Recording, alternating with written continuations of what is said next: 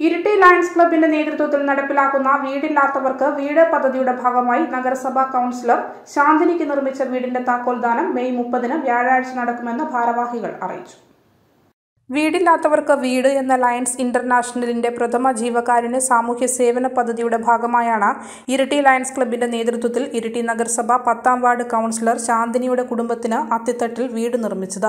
സ്നേഹവീടിന്റെ താക്കോൽ ഇരിട്ടി നഗരസഭാ chairperson K ശ്രീലതയും ഡിസ്ട്രിക്ട് ഗവർണർ ടി കെ രജീഷും ചേർന്ന് കൈമാറുമെന്ന് ലയൺസ് ക്ലബ് ഭാരവാഹികൾ പറഞ്ഞു. നാൽപ്പത്തിമൂന്ന് വർഷത്തെ സേവന പാരമ്പര്യമുള്ള ഇരിട്ടി ലയൺസ് ക്ലബിന്റെ പ്രധാനപ്പെട്ട പദ്ധതിയാണിത്.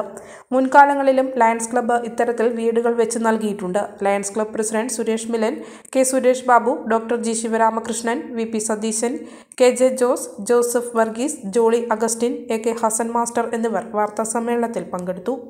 ലയൺസ് പ്രസ്ഥാനത്തിന്റെ സിഗ്നേച്ചർ പ്രൊജക്റ്റുകളിലൊന്നാണ് വീടില്ലാത്തവർക്ക് വീട് എന്ന പ്രോജക്റ്റ് നാൽപ്പത്തി മൂന്ന് വർഷത്തെ പ്രവർത്തന പാരമ്പര്യമുള്ള ഇരിട്ടി ലയൺസ് ക്ലബിന്റെ ഈ വർഷത്തെ ഡ്രീം പ്രോജക്റ്റാണ് ഈ സ്വപ്ന വീട് എന്നത്. ഇരിട്ടി അത്തിത്തട്ടിൽ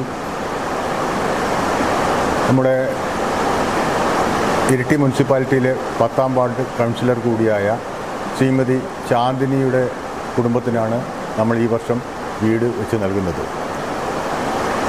നമ്മൾ നാൽപ്പത്തി മൂന്ന് വർഷത്തെ പ്രവർത്തന പാരമ്പര്യമുള്ള നമ്മുടെ ക്ലബ്ബ് മുമ്പും പാവപ്പെട്ടവർക്ക് വീട് വെച്ച് നൽകുന്ന പദ്ധതികളിൽ മുഴുകിയിട്ടുണ്ട്.